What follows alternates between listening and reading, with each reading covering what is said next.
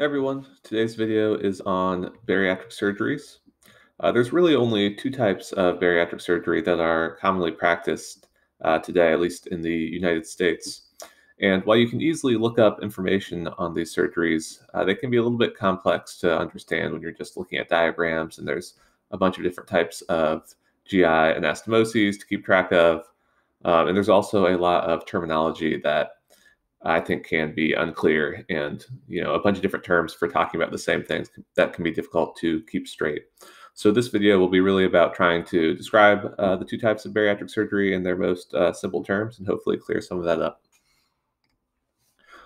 So to start, just briefly wanted to mention the indications for bariatric surgery, at least according to the ASMBS. Uh, your two indications would be a BMI greater than 40 or uh, a little bit lower BMI, 35 or greater, uh, but with an obesity related comorbidity.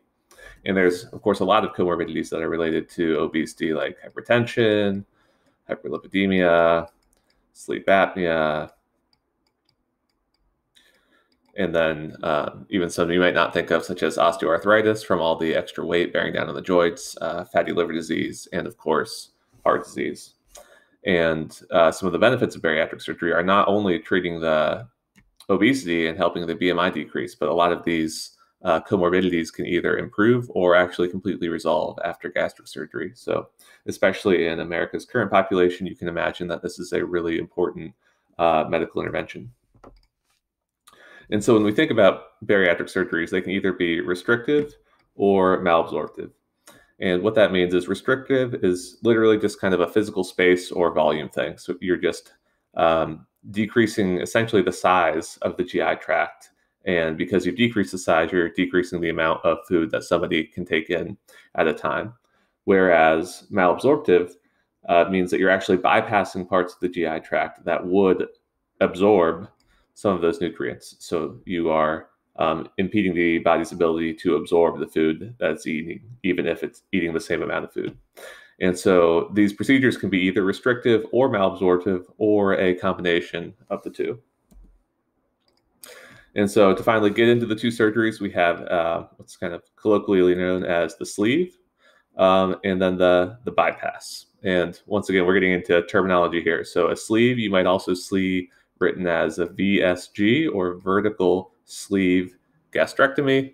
Uh, it can also just be called a gastric sleeve uh, or a sleeve. Those are all the same thing. Then when it comes to a bypass, you're thinking of the ROU and Y, commonly abbreviated R and Y, or you can spell it out R O U G H. I believe that's a French word, Roux-en-Y.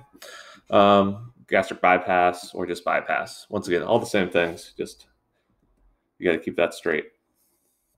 And so to start, we'll talk about the gastric sleeve. This is a simpler procedure. Um, so it's going to be a little bit easier for me to draw out, and then we can work more complex from here. So the sleeve is a restrictive procedure only. So remember, we had our two types. We had our restrictive and our malabsorptive. So this is just restrictive.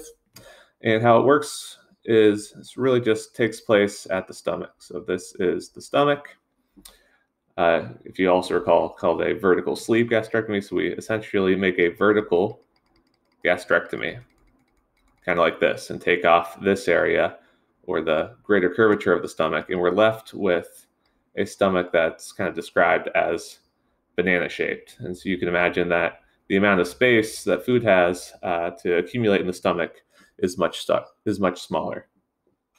And that's really all there is to it. Just that one staple line um, and because of this, you can imagine uh, that it's a little bit less complex of a surgery. So there's relatively few uh, immediate complications. Usually you can either bleed or leak from this staple line kind of along the, the greater curve. Uh, but long-term complications you can think about if you make this remnant too narrow, maybe you cut more like this. If this area scars down, you can get a stricture uh, where you'll have hard time uh, passing oral intake through. Uh, and for whatever reason, this type of stomach remnant actually tends to worsen reflux, whether the gastrectomy causes something with a natural anatomic barrier at the lower esophageal sphincter. I don't know that that's terribly well understood, but uh, something to remember sleeves actually tend to worsen reflux. And so our other procedure, Remember, that's the Roux-en-Y gastric bypass. This one is both restrictive, but it's also malabsorptive. I'm going to draw a little bit here, um, but this is going to be pretty hard for me to draw out, and we'll get to a more formal diagram in just a moment. So once again, we have our stomach. Then down here, we'll have a looping duodenum transisting into the jejunum. I'll just draw out a few loops of jejunum coming down here. There we go. So the restrictive part happens in the stomach, and that's where there's a gastrectomy, but this time it's more in this direction. So there's just a little bit of pouch up here. And then you make another cut down, you measure maybe 50 centimeters down uh, the duodenum, and you make an incision in the jejunum. And actually, this part of the jejunum right here comes all the way up to this pouch and attaches.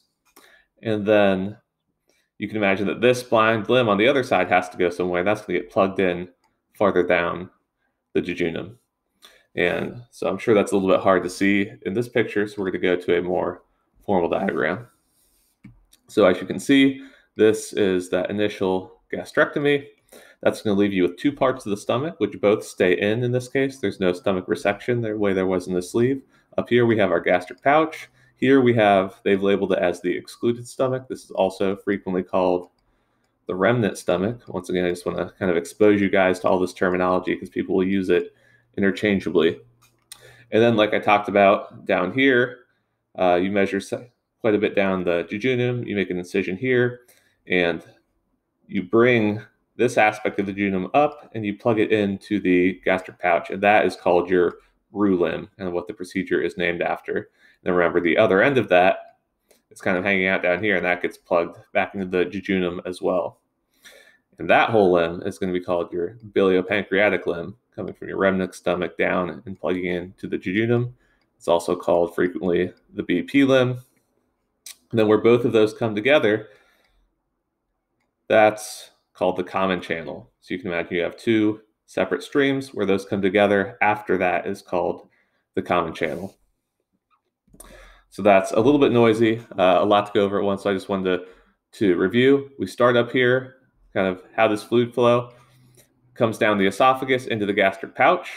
Remember, this is the restrictive part of the procedure, so only a small amount of food can actually go into that gastric pouch. And then the food enters uh, through this anastomosis, which is going to be your GJ anastomosis for gastrojejunostomy. It's going to come down this jejunum, this Roux limb, until it dumps into the common channel right here, which happens at this anastomosis, which is going to be called your JJ or jejuno jejunostomy. And remember, you still have that remnant stomach. It stays in. That feeds down through this limb called the BP limb, and that's also going to plug in at that jejuno jejunostomy uh, and feed into the common channel. Uh, another detail, this Roux limb you might hear called anticolic or retrocolic. I think more people do anticolic nowadays, but all that means is relative to the colon. You can see the colon kind of faded out back here. If you're bringing this part of the intestines up, you can either bring it in front of this colon or in the anticolic position, or behind the colon in the retrocolic position. And to go behind the colon, you actually have to make a hole in the transverse colon mesentery and then put the small bowel through that. Uh, like I said, I think most people do anticolic now. Uh, that does leave one less space for herniation to happen post-op, and it's a little bit more, I guess, natural because you don't have to make that additional hole in the mesentery. So we've gone through a lot of labels here, and as you can imagine, this is a more complex procedure than the sleeve gastrectomy. And so while the you might expect the restrictive and the malabsorptive components, once again, malabsorptive because the nutrients bypass this entire part of the intestine. So no none absorption, none of the nutrients can be absorbed in the stomach or the duodenum or proximal jejunum. Uh, but while you might expect that to lead to a little bit better weight loss, uh, you can also expect that a procedure that's this complex is also at a little bit higher risk of complications, both in the short term and the long term. And so you can imagine you can have dumping syndromes through the GJ, uh, where your nutrients flow too quickly into the intestines and either lead to osmotic fluid shifts or just a rapid release of insulin and potentially hypoglycemia. Uh, there's risk of afferent limb syndromes up in the biliopancreatic limb, where you either have stasis or potentially obstruction. That can be issues. Uh, when you plug in the jejunum directly to the stomach, uh, you can get marginal ulcers because the jejunum is not lo- used to handling that acid load of the stomach. And as you can imagine, uh, it becomes very difficult to do an ERCP in someone after they have a gastric bypass. So you can imagine you can't really thread a scope all the way down here and then back up to get to the uh, papilla. So that's a limitation to keep in mind. So now we've talked a little bit about both procedures. You might be thinking about, well, how do we choose one versus the other? And so I just wanted to draw out a quick table here. So you've got your sleeve and then your Roux-en-Y. And the reason we have both of these is there's no clear winner between the two. So let's start with short-term outcomes up here with an S. Uh, so the Roux-en-Y has typically more short-term weight loss. So that's a plus, but it also has more short-term complications.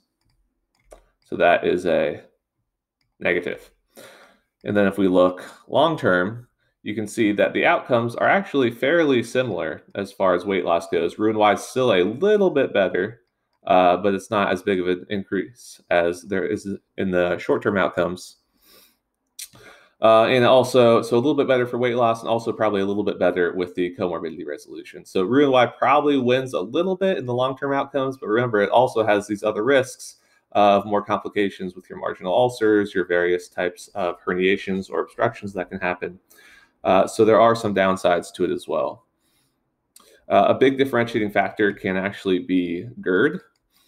So remember, like we talked about, a sleeve gastrectomy will worsen GERD. So somebody has bad GERD, you don't want to give them a sleeve gastrectomy. Well, a Roux-en-Y will actually cure it because it uh, separates the kind of acid producing part of the stomach from the esophagus. And the other thing to consider if somebody has really bad GERD and they have something like Barrett's esophagus, you definitely want to do a Roux-en-Y as opposed to a sleeve. One, to treat the Barrett's by treating the reflux, uh, but also if somebody would ever require an esophagectomy down the road, if they've had a gastrectomy, they're not going to be able to get your typical gastric conduit for that procedure. So in a lot of situations, they're fairly similar. A sleeve is a little bit simpler, uh, but probably doesn't have uh, as much weight loss or comorbidity resolution. The Roux-en-Y has better comorbidity resolution and weight loss, at least slightly in the long term uh, but does have more risk of complications. Uh, and finally, uh, if somebody has GERD, that does make your choice pretty clear in favor of the Roux-en-Y gastric bypass. And then finally, just a few quick pearls for these patients post-op. Um, you want to, anytime somebody loses a lot of weight, you got to worry about the risk of gallstone formation. So some people will give um, ursodeoxycholic acid to help prevent gallstones. Uh, and then when you think about Roux-en-Y patients, remember they should not be on NSAIDs because of that risk of marginal ulcers where the jejunum plugs into the stomach. Uh, and they also are not going to be able to get an ERCP if they would have problems with those gallstones that can form post-op uh, that we just talked about. And then finally, I did want to touch on the fact that if somebody has a Roux-en-Y, um, really anybody with a small bowel obstruction, that's a big deal. But a Roux-en-Y, you've really got to worry about small bowel obstructions being closed loop. Actually, if we go back a few slides. So first of all, if they have an obstruction maybe at the JJ and you're backing up uh, into your remnant, there's no outlet here, right? Like you, you can't throw up what's in that remnant stomach. So that is functionally a closed loop obstruction. And then anytime you cut the mesentery, like you do for your JJ, you do to bring up your roux limb, those uh, place gaps in the mesentery where bowel can actually herniate to and either volvulize or um, essentially cut off the blood supply to a large portion of the small intestine, which is, of course, uh, very severe. So, anytime you have somebody with especially a Roux-en-Y anatomy and a small bowel obstruction, those people almost always go to early surgery because of those risks of either um, volvulus or losing a lot of your small intestines uh, or a closed loop obstruction. All right, so that is it. Uh, these videos are for educational purposes only. Do not use them to diagnose or treat any disease, and we'll see you next time.